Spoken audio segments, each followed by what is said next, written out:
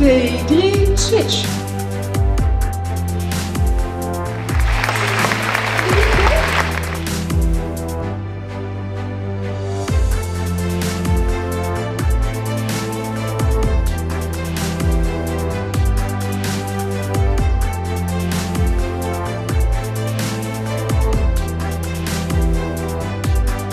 Ja, omdat ik dus denk dat je bij wetenschappelijk onderzoek op veel groter niveau voor meer patiënten wat kan betekenen dan dat ik als arts in de dagelijkse praktijk één op één zou kunnen betekenen.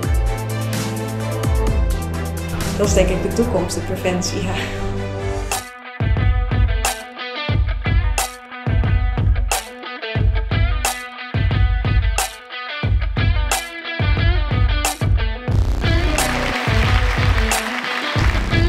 Je ziet, iedereen zoekt elkaar ook weer op en eh, is, is blij elkaar weer te zien.